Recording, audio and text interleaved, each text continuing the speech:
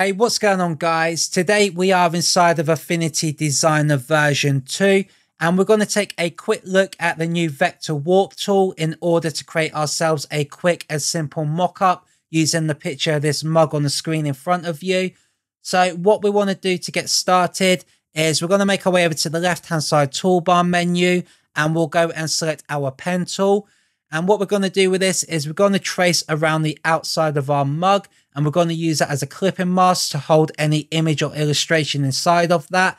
So to get started, we'll go ahead and find our first edge and I'll just create a point right there. Come down towards the bottom just before I get to that corner. I'll go and create another one and just after the corner, I'll create another one as well and start to bend that. So this tutorial isn't going to teach you how to use a pen tool. I do have another tutorial for that if you guys want to go ahead and check that one out. This is really going to be quick and messy just to show you how it works. You guys are free to come back with the node tool after this and clean it up a little bit better if you want to get more precise with this. However, just to be quick with the video, I'm going to make my way around this image as quick as possible. So I'll just keep making a few more points and getting around this. Just bend that a little bit, come in the center there and just start to curve that a little bit to follow that same line and just roughly get that to look good enough for the tutorial. And I'll just finish that bit right there.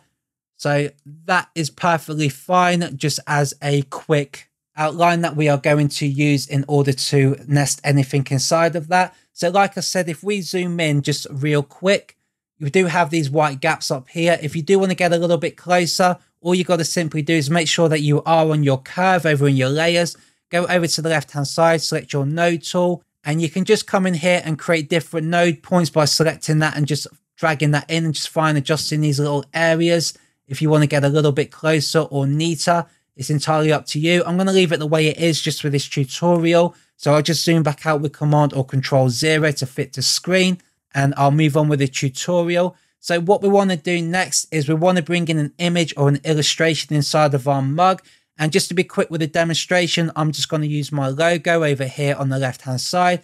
I'll just drag that over and I'll resize that to a rough size I'm happy with. And I'll just move that into place. So just so you guys can see this a little bit better, I'll go ahead and change the colors of this. So if I go to my layers on the right hand side inside of my group, I'll go in here and just give this a different color so we can see that a lot better. And I'll do the same on the text. Then once we've done that, I can go ahead and close the group. Then what we want to do next is we want to be able to nest this inside of our curve that we have created or our clipping mask. And the way that we would do that in version 2 is we'll select that, we'll just pull that down and we'll just drop that right on top of that.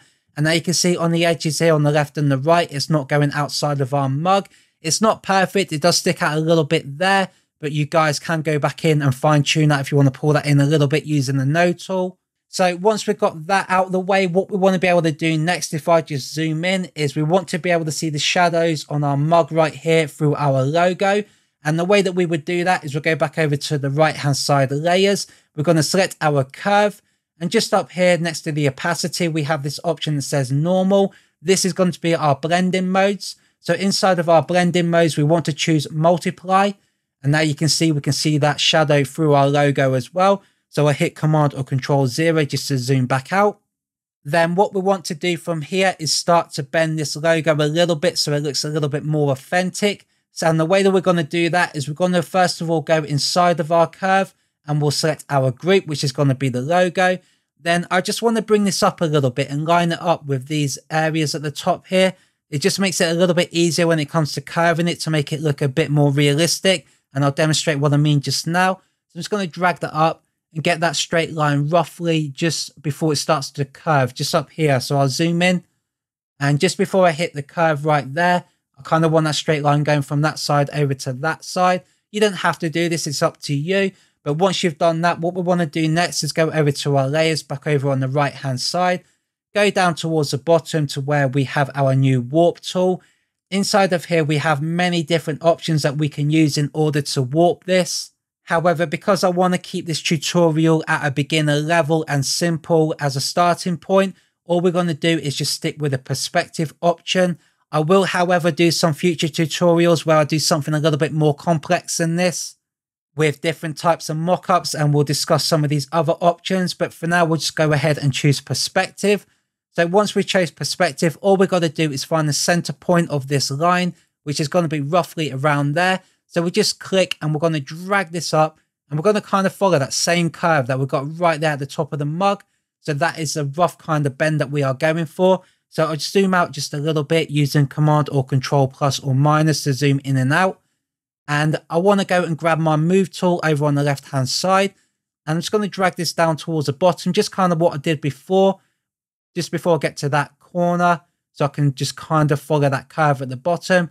Then if I go back over to my left hand side toolbar menu, if I select that node tool, that's going to take me back into my warp option. Then once again, in the center of this, it's got to drag that down and just kind of follow that same kind of curve that we've got at the bottom of the mug. So somewhere around there will be perfectly fine.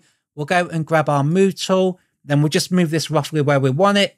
And I'm going to put that, I think, to around there. Then that is generally it in terms of getting the rough shape that we are going for.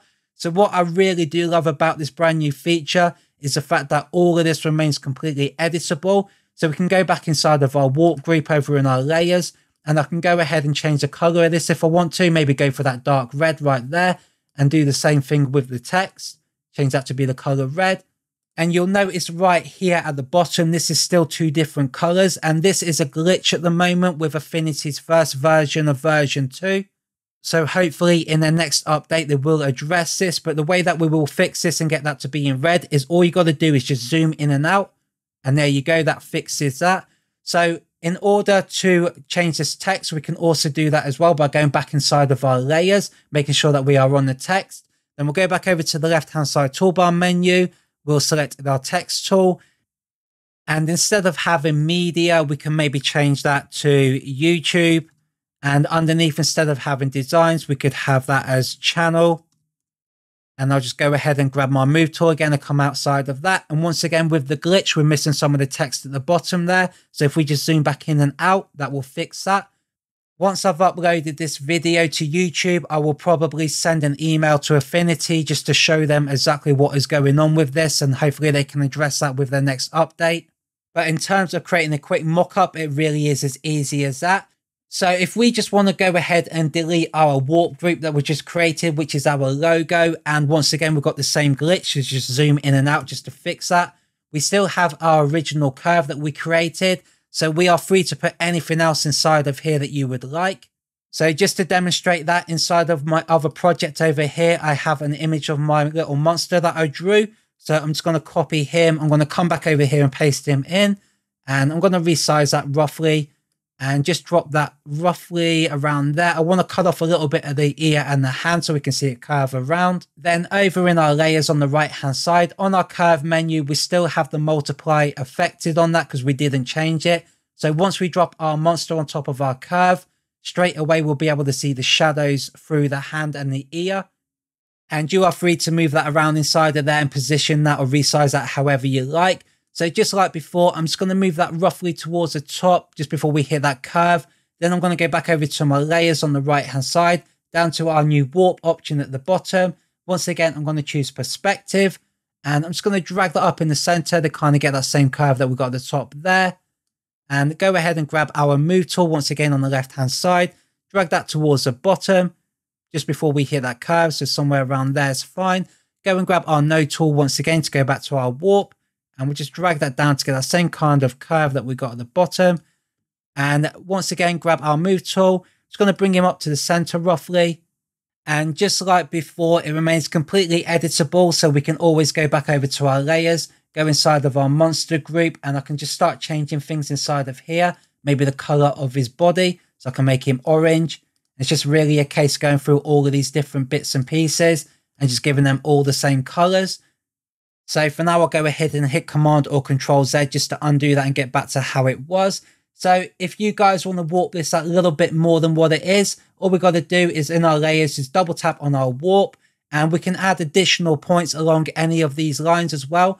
If you just want to go ahead and just really fine tune your warp, that's going to be at the top as well as the bottom.